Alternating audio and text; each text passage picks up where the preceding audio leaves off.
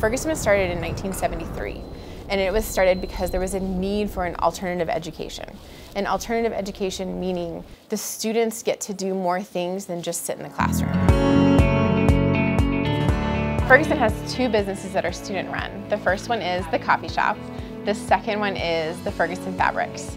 And the benefit to both of these programs is that they give students the soft skills that they need to succeed in the real world.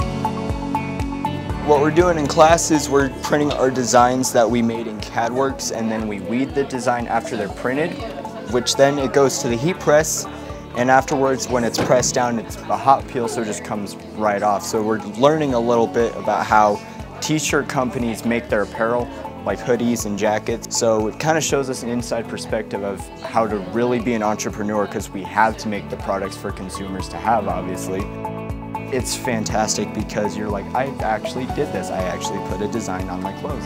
So you actually feel like you made your own product in a way. So it kind of gives you that little sense of accomplishment too.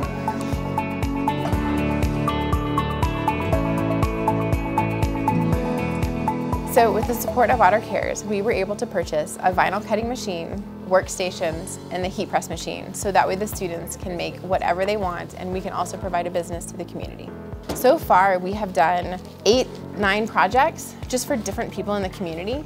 And so it's been a lot of fun and the students get to see their full work of what that looks like and how it works and what they can do to make that happen. To have an organization where we can, as the students write a grant, can make that happen and see it from beginning to end, the fruition of all of it, is huge. It's not something that you can pay back because it's an intangible asset that you see of what it gives the students.